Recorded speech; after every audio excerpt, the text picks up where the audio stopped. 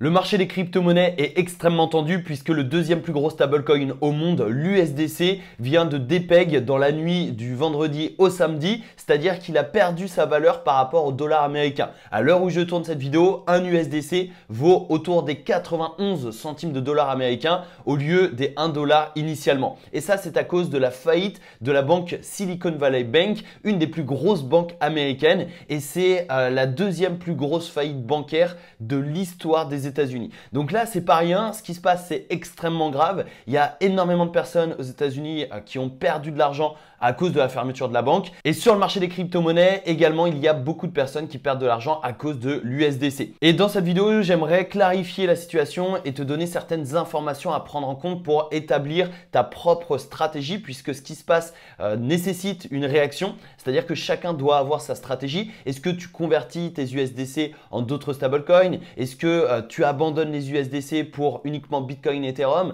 Est-ce que voilà, il y a beaucoup de questions. À toi de répondre à cette question. Je vais pas y répondre dans cette vidéo, mais l'objectif c'est de te donner des informations pour y répondre de ton côté. Donc on va passer tout de suite sur mon écran et on va faire le récap de l'actualité de la semaine crypto et on va se concentrer évidemment euh, sur l'USDC et sur la faillite de la Silicon Valley Bank. Et juste avant de passer sur mon écran, n'oublie pas de t'abonner, d'activer les notifications pour être certain de recevoir toutes les prochaines vidéos et les prochains récaps de l'actualité crypto-monnaie. Et tu peux soutenir gratuitement la chaîne YouTube avec le petit pouce bleu. Sur ce, passons sur mon écran. Let's go Ok, alors commençons par le traditionnel prix euh, du Bitcoin. À l'heure où je tourne cette vidéo, donc le samedi 11 mars au matin à 11h45, eh bien le Bitcoin s'échange pour 20 300 dollars. Donc tu vois que sur la semaine, bah, le Bitcoin a fortement chuté puisque euh, depuis quelques jours, en fait, il y avait quasiment plus de volatilité. Tu vois ici, euh, Bitcoin était à chuter le, 3 mars. Après, il y avait zéro volatilité et bah, on l'a retrouvé, mais dans le mauvais sens, puisque le Bitcoin est passé des 22 500 dollars à 19 600, 700 dollars et aujourd'hui on est à 20 300 dollars. En ce qui concerne le Fear and Grid Index, on est à 33. La semaine dernière on était à 50, donc euh, lors du précédent récap de l'actualité crypto on était à 50, donc on était vraiment au neutre. Euh, là aujourd'hui on est à 33, hier on était à 34 et euh, la semaine dernière donc on était à 50. Donc voilà, le marché a peur et on rentre de plus en plus dans la peur. Donc à voir ce qui se passera la semaine prochaine, mais ça risque de baisser une nouvelle fois. Et voici le S&P 500 sur la semaine, donc comme tu peux le voir, quasiment tout est dans le rouge. Microsoft moins 2,60%, Apple moins 1,68%, euh, Google moins 3,20%, Amazon moins 4,39%, Tesla moins 12%. Donc euh, ça a été un bain de sang cette semaine. Euh, il y a beaucoup beaucoup de valeurs qui ont perdu, notamment à cause de la Silicon Valley Bank et on va y venir dans quelques instants. Mais juste avant, voici l'USDC et ça c'est l'impact de la faillite de cette banque et euh, normalement un USDC vaut 1 dollar. Ici ça vaut 0,91 dollars donc moins 9%. Et euh, tu vois ça a perdu son DPEG donc en gros si je mets sur un an tu vois que bah, normalement un USDC vaut 1 dollar américain et que la courbe est plate. C'est le concept même du stablecoin, c'est censé être stable et valoir 1 dollar américain. Et tu vois ici le 11 mars donc autour des 5h euh, du matin, alors déjà ça avait commencé à perdre un petit peu mais bon, euh, voilà, c'était 0,9969 euh, dollars, donc c'était pas grand chose, mais le DPEG s'est vraiment fait à ce moment-là, donc vers 5h30 du matin, heure française, ça a été, euh, ça, a, été chercher les 88 centimes, c'est remonté un petit peu, donc là, ça a l'air de se stabiliser, mais ça fait extrêmement peur ce genre de situation, et il faut observer ça de très très près. Est-ce que c'est le bon moment de convertir ces USDC en Bitcoin, Ethereum ou en d'autres stablecoins? Honnêtement, je ne sais pas, parce que peut-être que ça va remonter et ça va retrouver son peg de 1 dollar. Peut-être aussi que euh, ça va aller beaucoup plus bas. Et dans ce cas-là on pourrait aller chercher les 0,80, 0,70, 0,60 et dans ce cas-là ce serait une catastrophe. Mais euh, honnêtement je ne sais absolument pas ce qui va arriver dans les prochaines heures et les prochains jours. Euh, mais voilà. En tout cas aujourd'hui à l'heure où je tourne cette vidéo un USDC, ça ne vaut pas un dollar, ça vaut 0,91 centimes si on arrondit. Et ça, c'est à cause de la Silicon Valley Bank qui s'effondre, provoquant la plus grosse faillite bancaire aux États-Unis depuis 2008. Donc, je sais pas si tu réalises, mais c'est juste euh, extrêmement grave ce qui se passe en ce moment. Et euh, tu vois, les autorités américaines ont pris possession de la banque, dont la clientèle était principalement composée d'entreprises du secteur de la tech, puisque c'est une banque qui finançait les startups euh, donc de la Silicon Valley, comme, son nom l'indique. En gros, c'est une banque qui va financer les startups, donc ça va se répercuter sur beaucoup d'autres entreprises, donc euh, de, des entreprises tech tout simplement. Je te mettrai l'article complet dans la description, euh, mais tu vois ici, en gros, la Silicon Valley Bank était un élément clé de l'écosystème tech qui s'est effondré vendredi 10 mars, provoquant la deuxième plus grande faillite bancaire de l'histoire des États-Unis et semant l'inquiétude dans tout le système financier. Donc voilà, ça va vraiment se répercuter sur la partie tech, sur les startups et sur évidemment euh, le système financier et sur les autres banques. Donc euh, il va falloir observer ça de très près lundi et euh, toute la semaine prochaine parce que ça peut, ça peut bouger extrêmement vite. Donc bon, voilà, je vais pas lire tout l'article avec toi, mais si tu veux en savoir plus, je te mettrai le lien dans la description et tu vois, effondrement rapide parce que ça s'est fait extrêmement rapidement, en quelques heures. donc une contagion financière a semblé se propager dans certaines parties du secteur bancaire, ce qui a incité la secrétaire américaine du Trésor à rassurer publiquement les investisseurs, estimant que le secteur bancaire euh, restait résilient. Mais bon, voilà, avec quelques 200 milliards de dollars d'actifs au 31 décembre, euh, bah, SVB, donc euh, la Silicon Valley Bank, était devenue la 16e banque américaine. Aujourd'hui, elle, a faillite, elle a fait faillite. elle est de loin la plus grande banque à avoir fait faillite depuis le quasi-effondrement du système financier en 2008, juste après la faillite du Washington Mutual durant la crise. Si l'effondrement rapide de l'institution vieille de 40 ans est basé à Santa Clara en Californie, a rappelé la panique financière mondiale d'il y a une quinzaine d'années, elle n'a pas immédiatement suscité la crainte d'une destruction généralisée du secteur euh, financier. Bon, voilà, en tout cas, je te mets l'article complet euh, si ça t'intéresse. Et euh, là, on est sur donc un article du journal du coin spécialisé dans la crypto-monnaie. Donc, faillite de la Silicon Valley Bank, Circle. Donc, Circle, c'est l'entreprise qui émet les USDC.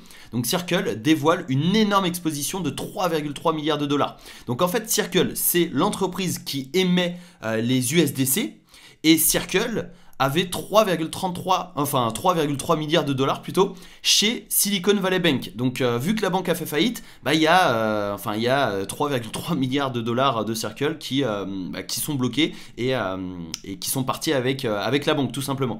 Donc ici tu vois Circle émetteur du stablecoin USDC a reconnu une large exposition de ses fonds au sein de la banque en faillite Silicon Valley Bank. C'est ainsi un total de 3,3 milliards de dollars de sa trésorerie destiné à soutenir le cours de l'USDC qui a impacté par un événement financier dont les conséquences sont à l'heure impossibles à évaluer. Donc tu vois, c'est pour ça que euh, bah, les 3,3 milliards de dollars sont partis avec la Silicon Valley Bank et c'est pour cette raison que l'USDC a dépeg et a perdu de la valeur. Donc l'importante exposition de Circle dans la faillite de la Silicon Valley Bank, euh, la nouvelle est tombée dans la nuit et a douché les espoirs de ceux qui pensaient que l'exposition et les dégâts seraient un peu plus limités.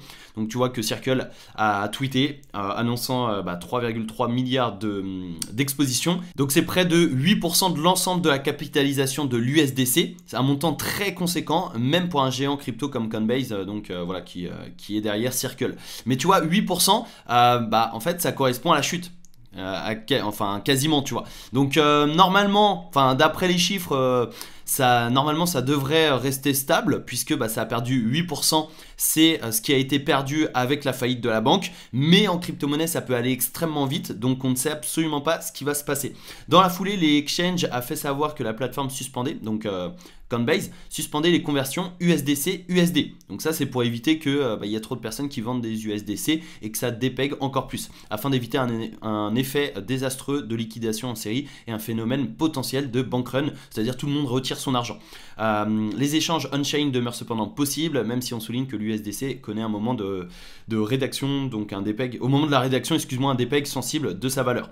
Euh, donc voilà, une nouvelle fois je te mets certains articles dans la description et je te mets également celui-ci, donc pourquoi l'USDC USDC a perdu euh, son ancrage au dollar cette nuit. Donc bon, je vais pas lire tout l'article, mais tu vois, c'est assez, assez flagrant. je te mets cet article complet dans la description de cette vidéo et bah, c'est extrêmement intéressant et enfin voilà, il faut, il faut se renseigner.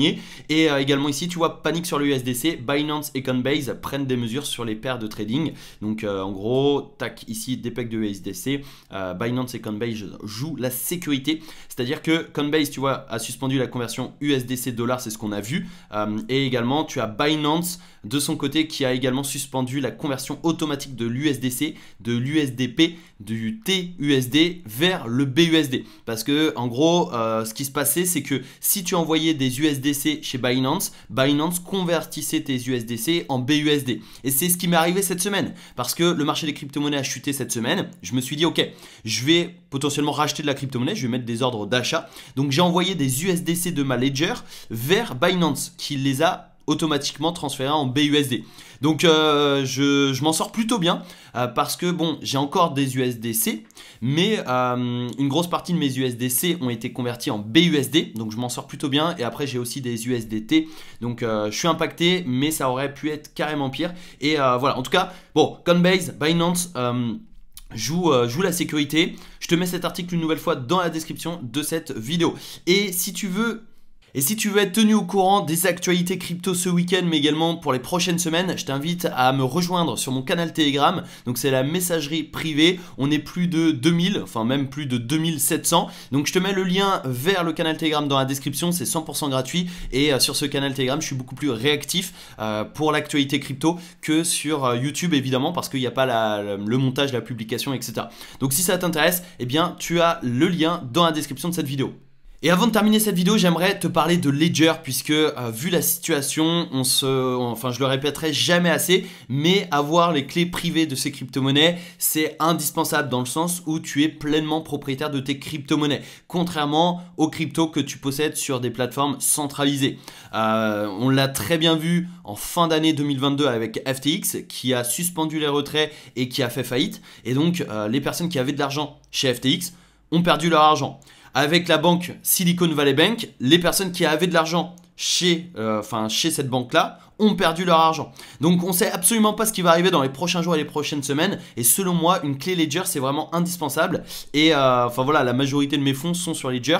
Euh, les plateformes centralisées me permettent juste d'acheter ou de vendre ou de convertir des, crypto-monnaies, etc. Mais pour le stockage, bah, c'est sur une clé Ledger. Ça te permet d'avoir la pleine propriété de ta crypto-monnaie. Donc si ça t'intéresse, je te mettrai le lien vers le site officiel de Ledger dans la description de cette vidéo. Une nouvelle fois, n'achète pas une clé Ledger sur Amazon ou sur un autre site que le site officiel. Parce que là, on parle de sécurité. Donc euh, voilà, c'est extrêmement important parce que si quelqu'un achète une clé Ledger euh, et la revend sur euh, Amazon, bah, peut-être qu'il a récupéré la clé privée. Donc cette personne pourra récupérer tes fonds.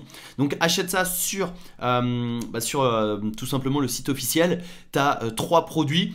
Le meilleur rapport qualité-prix selon moi c'est la Nano S ⁇ c'est la moins chère. Euh, et, voilà, en termes de sécurité, c'est exactement la même chose. Euh, après, tu as la Nano X également qui est pas mal, mais en tout cas, euh, la Nano S elle est à 80 euros, je crois, alors que la Nano X est à 150 euros. Donc, ça représente un petit, ça représente un petit, un petit coup. Mais voilà, après, si, une nouvelle fois, si tu as 200 balles en crypto-monnaie, bah, investir, voilà, investir 79 euros, le prix est juste là. Si tu as 200 euros, ça vaut pas le coup. Par contre, si tu commences à avoir 1000, 5000, 10 000, voire plus, bah forcément ça vaut le coup parce que euh, bah, tu es euh, pleinement propriétaire de tes cryptos. Donc on se le répétera jamais assez, mais une clé Ledger selon moi c'est vraiment un, indispensable. Donc euh, voilà, si ça t'intéresse d'en savoir plus sur Ledger et sur leurs produits, tu as le lien dans la description de cette vidéo. Et avant de se quitter, n'oublie pas de me dire ce que toi tu as fait ou ce que tu vas faire dans les commentaires de cette vidéo. Ça m'intéresse d'avoir ton retour et ton point de vue également sur la situation actuelle. Personnellement, j'ai eu beaucoup de chance dans le sens où j'ai transféré des USDC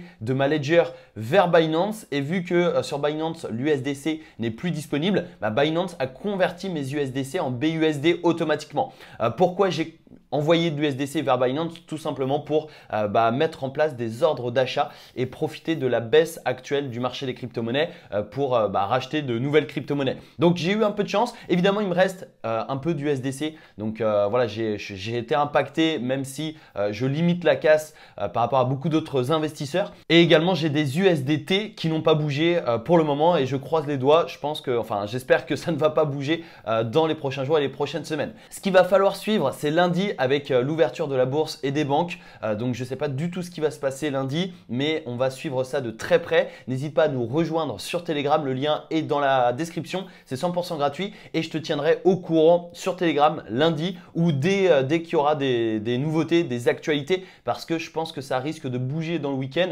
Et si ça bouge pas dans le week-end, ça bougera lundi. Donc n'hésite pas à nous rejoindre sur Telegram, c'est gratuit, c'est dans la description. Et sur ce, je te souhaite un bon week-end malgré la situation et j'espère sincèrement que tu n'as pas été euh, impacté par rapport au DPEG de l'USDC. Euh, et, voilà, on va croiser les doigts euh, bah, pour les prochains jours et les prochaines semaines. Sur ce, très bonne journée à toi. Ciao